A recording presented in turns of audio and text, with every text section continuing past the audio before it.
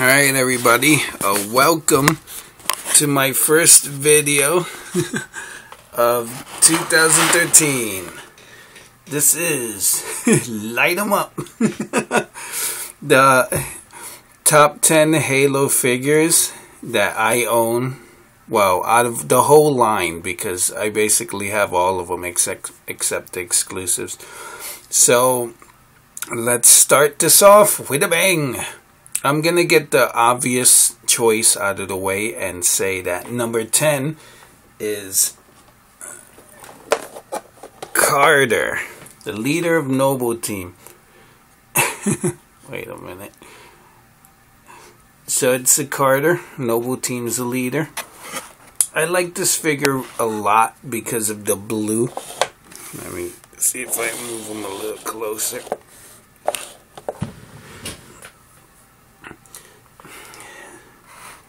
So I like him a lot because of his blue armor.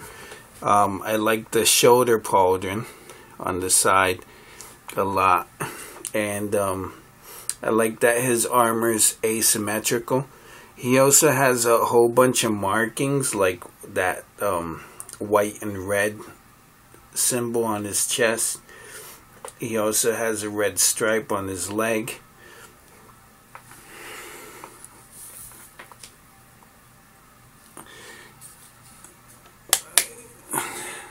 Forgot these lights. Let me turn off my headlight. So yeah, I like the the armor a lot. So much so that this is like the third Carter that I own. So Carter is number 10, but that also includes his uh, unhelmeted version.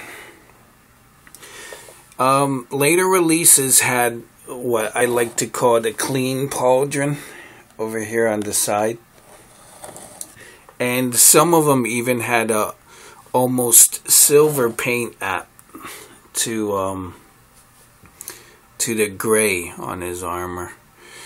This second release of Carter has the added benefit that his um, knee articulation has been improved not by much, but it's better than the old Carter's um, knee articulation. And incredibly, this is the only unhelmeted member of Noble Team that has a different weapon. He's the only one. Everyone else comes with the same weapons they were packaged with before. But Carter, he gets the Spartan laser. You can still find Carter at Toys R Us's and sometimes Rite Aids everywhere. Coming in at number nine is this guy. This is the the white JFO from Walgreens. This is a Walgreens exclusive. At the beginning of this at the beginning of the I guess the middle of the year when they were released a lot of Walgreens stores didn't carry him. And I used to go on the mad hunt looking for him a lot. But eventually, um, around the holidays, more Walgreens started stacking him in, and um, you can find him. I've heard that he's also showed up at some discount stores, which is odd, but given that he's also showed up on uh, Spawn.com, it looks like Walgreens didn't really want them. they carried a few and they said, nah, we don't want the rest. So this is number nine. I like I like the color white. I don't like his wash. It's a little too dirty for my taste. I did do a custom where um, I painted him with a white Gundam marker, but because I'm not an expert painter, a lot of the details are gone. So number nine, the white JFO from Walgreens. Coming in at number eight, ocho, is the Spartan Security from Toys R Us. This guy's a Toys R Us exclusive. Um, I wasn't too keen on buying him at first because um, Toys R Us has their um, Halo figures close to twenty dollars. It's like nineteen. 1895 or 1998 in some places. They still have Series 6 for that price, but when they reduced Series 5 down to uh, 1298, I decided, you know what, let me pick this guy up. This is like the third guy that I have. He's still in package, but he's one of my, um, like, I guess, loose for the collection. I'm supposed to have an opening party. I like the 3D render here. It's really cool. Makes him look bulky. And he comes with a grenade launcher. Which um not a lot of single came with. So 10 9 number 8 Spartan Security from Toys R Us. Coming in at numbers um at numbers seven and six. Number seven is the White Spartan Mark 5B, which I reviewed as Tom. I have the I have the figure put away, but I don't have a picture of him. So I'm, I'm gonna have to say that before finding out about that figure, um, I I wanted to like ask McFarlane on their Facebook page that they should make a Tom figure from the Deliver Hope trailer for Halo Reach. But to my surprise, they already had the figure. So eventually, I picked them up on eBay. This figure comes with the, um, I think it's a Pearl, um, uh, Pearl Elite Ultra as a two pack. This was part of Series 1, so right now he's hard to find. I only own one of this figure. I wish I could own more. Coming in at number 6 is not this guy, but this guy, the yellow HAZOP. So he's coming in at number number 6. The thing is, I like the HAZOP because it looks like a, a skull. Uh, I think there's like a an add-on in the Halo Reach game where you can have your figure have like a flaming skull. So it's basically like Ghost Rider in Halo. Um, he does look like a skeleton sucking on a on a bobo on a pacifier. But the I like the color yellow because not a lot of Spartans came in yellow. Um, I did make a custom and I decided to paint them yellow because I thought it was a rare color in the line. And lo and behold, then I find out there's a yellow Spartan HAZOP and there's a yellow Mark 5B that comes with a cyan um, HAZOP as part of an airborne pack. So number number six is the yellow HAZOP, which I got off of eBay, but um, I don't think I got his old DMR with the little the little protecting thing for the hand. Number six is voila the elite minor. Wart, wart, wart. Yep, wart, wart, and all that. the reason I like this figure is because of the blue and his pointy hat. He's also um, one of the grunts. So you encounter him. I mean, he's a, like a foot soldier of the elites. So in the game, you encounter him a lot. If I would have gotten into the line early, I would have um, bought more of these guys. But I think the Store Adventures Underground might still have some of these guys in stock. You can check their website, or um, maybe somebody in Seattle might be able to help you out. I do like this picture from the back of the card of the um, Elite it makes him look hulking. Like the shoulders are way above the head. So real cool. I've yet to review this guy and open him up. I do wish that he would have came with this plasma gun instead of the the needler that he does come with. So that's it for number five. Number six is cat. Cat um, is a peg warmer in both her forms, uh, her Series 6 and her Series 2. Um, up until last year, I was able to find Cat at uh, Rite Aid and pick her up. I do wish that they would have given her an assault rifle instead of just uh, giving her the little the little magnum. But in terms of paint, she's really uh, she's really good. I like the how the white stripe is weathered. And here you have uh, some 3D art. Her unhelmeted version, right here, is uh, just as popular, warming the pegs. I do like that. Um, she she's for someone in armor she still looks feminine even with the boyish pixie haircut a la Anne Hathaway but I don't know why. I I guess because she's a girl not not everybody's gonna play with her. Collectors will buy her to have her but kids on the street are not gonna ask for a, a girl toy. It's just they don't want to be playing with a doll.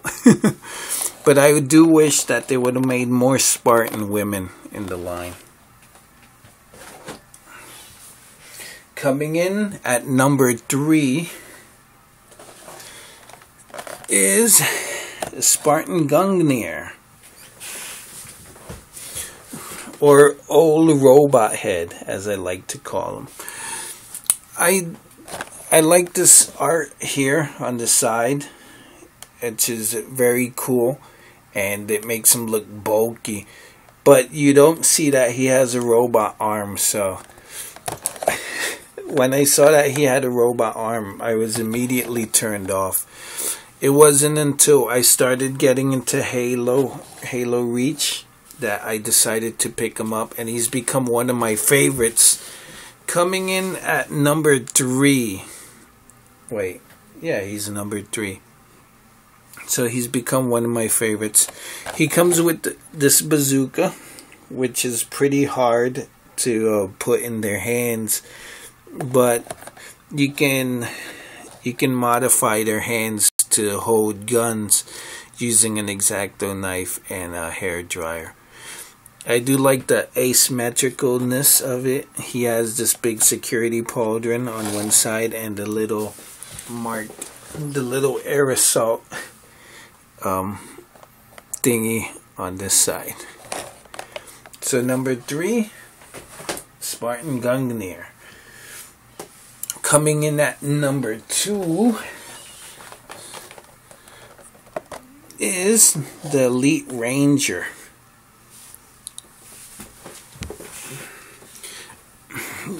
I'm not a fan of the elites because of their four mandibles, but this guy he takes the cake because of his helmet.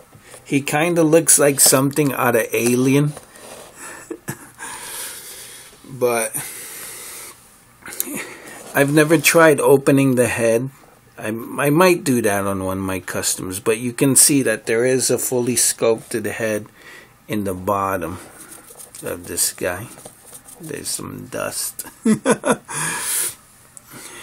but he does look like something out of Alien. And if you look at this um 3D art, he looks very cool with his jetpack and his um his rifle. I do like that he's um he's pearl white with no wash, no ugly wash, I guess because in space there's no dirt. But and I do say but a lot. I I really like this figure. If I could army build elites, I would uh, army build this guy after the um, elite minor. but mm.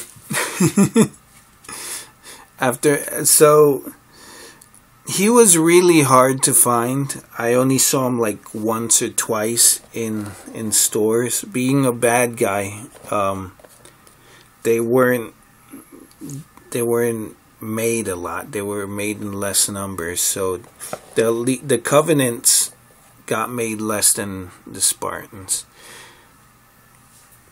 Elite Ranger comes in at number two. He's my favorite elite of the whole line. And lastly, number one, drum roll.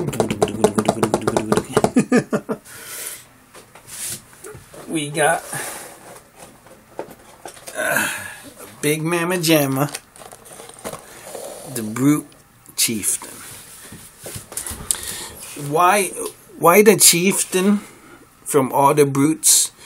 Well, the Brute Chieftain has the goatee, which is awesome he has his little tribal hat, which isn't dumb. It doesn't look dumb like the elite minor's hat, and it's not eternally stuck on like the. I mean the like the elite minor. The elite major is the guy who has the the dumb hat. He comes with the most awesome weapon of all time, the gravity hammer, which is back here, if you can see it his 3D art isn't impressive, but I do have fond memories of going out and toy hunting for this guy. Thanks to Toys 210, when I saw his review and I saw he was like the biggest action figure in the Halo Reach line out there, he's the biggest of the brutes. I said, you know, I gotta get this guy and I think last February during a snowy day, I went all the way into Brooklyn and got him from Target. They had to bring him out from the back. I wanted to see if they also had the Spartan Operator, which is the rarest figure that I own. Only seen him once. I bought him and never seen him again. Maybe he, I'm sure he's on eBay, but I only saw him once in all my toy hunting days. I've seen the Brute Mage, the Brute Chieftain a couple of times, and when Toys R Us reduced the price from 18 to 12, I picked two up, but then I had to return them. Uh, so, number one, the Brute Chieftain. If there's one Halo figure that you must get, it's this guy. I want to give two shout outs. to um, the worst of the Halo Reach line. First up is the worst figure. Here we go. Ta da! the worst figure of the line is the Skirmisher. Because of the way that their legs are designed, they have trouble standing. And I don't think there's a fix in the world that can that can make them stand decent that I know of. I thought um, I did think of using the double-sided scotch tape as a base, but even that doesn't hold up. They'll only stand up for a while, but not forever. So you got the skirmisher Murmillo, Murmillo, and the skirmisher minor. They're both the same figure, but they've been um, the Murmillo's been painted differently and he comes with a different gun. This one has kind of gray and doesn't come with the awesome helmet. So that's the worst figure of the Halo line. And to top it off, the worst concept. hey, look at me. the worst concept is the I don't know about the Spartan, but the Spec Ops is is bad. His foot broke, his leg broke, his neck broke in two pieces, but his arms are okay, and his mid torso. I don't know what it is, but when I took them apart with my Fun-Wit hair dryers, as you can see, there's look look look at this right here. There's a liquid that comes off the plastic. What happens with this liquid, it dries up. And then when you go to move your figure, Snappy McSnapperson. I used um, a special glue and I was able to keep the legs and the feet on. But um, he took a fall and more of them broke. This is why you still see this thing in um, Rite Aids everywhere. And he was the last peg warmer to go from Target. They reduced them as low as 13 something, 13.95 I think. But this is a figure that you must avoid. If you want a Spec Ops, get the the regular Spec Ops from Series 2. But this translucent guy, no. I don't know if this happens with uh, with the Spartan because there's a a Noble Six that comes with a with a camouflage um, translucent version of Series One of Noble Six. So, if anyone knows if that figure has the same problem, let me know on the comments below. This is Aries 0083 saying Happy New Year! And I hope everything goes well for you and yours.